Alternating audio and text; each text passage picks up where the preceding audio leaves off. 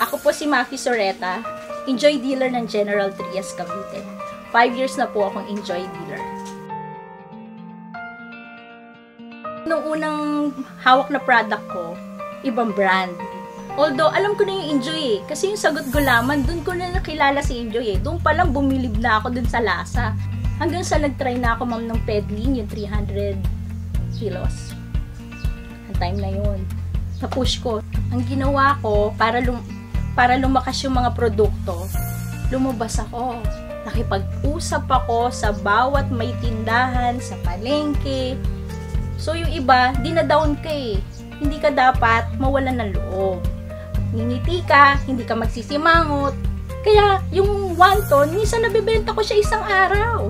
Kaya doon sa gustong magsimula, huwag sila matakot. Kailangan niya, nakikipag-usap ka sa tao. Tapos nakatingin ka sa mata, dapat sincere ka. Si Enjoy, extra income ko lang siya eh. Ngayon, hindi ko na siya extra income. Nakapagpapaaral ako ng mga anak ko. May scholars kami. Napafund ko yung mga gamot ng mga matatanda. Tapos, eto nga, napagawa ko to. Napagawa ko to. Tapos, ang sarap-sarap nung ano, kasi kasama ko yung pamilya ko habang nagtatrabaho ko. Yun ang pinakamaganda. Hindi ako nagkamali nung naging dealer ako. Itong anong to, hindi ko inaasahan to eh. Hindi ko inaasahan na. Hanggang ngayon hindi ako makapaniwala. Hindi ako makapaniwala na nagawa ko to.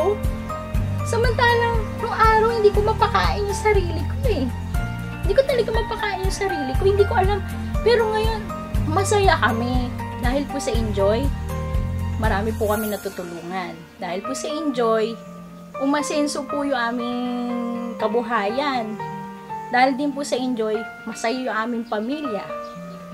Dahil po sa Enjoy, marami rin pong trabahong nagagawa.